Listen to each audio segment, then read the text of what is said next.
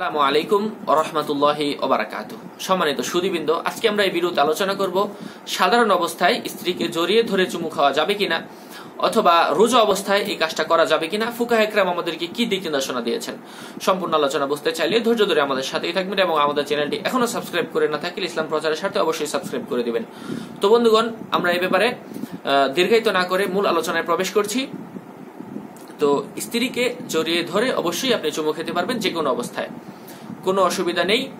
এবং এটা আল্লাহ রসুল সাল্লাহ আলিয়াস্লামের একটি সুন্না আম্মাজান আয়েসা সিদ্দিকা রাজিউল্লাহ তালাহা বলেন, আল্লাহ রসুল সাল্লাহ আলিয়াস্লাম কখনো কখনো নামাজে যাওয়ার পূর্বে আমাকে চুম্বন করতেন। এটা তিনি রোজার মাসেও করেছেন।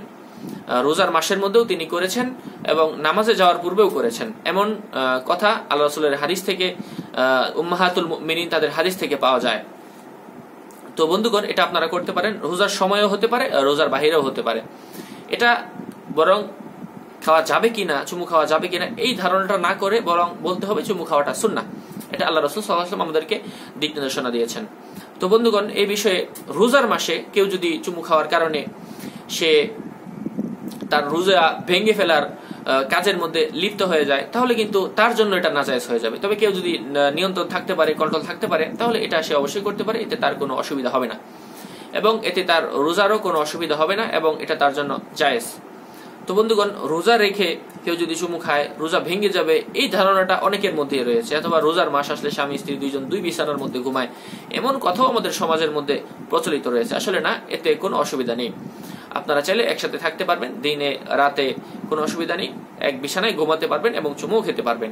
কোন শর্ত? যে শর্তটা আমি আপনাদেরকে এই ভিডিওতে বলে দিয়েছি। তো বন্ধুগণ, আশা করছি এই বিষয় সম্পর্কে আপনাদের কাছে আমি স্পষ্ট করতে পেরেছি।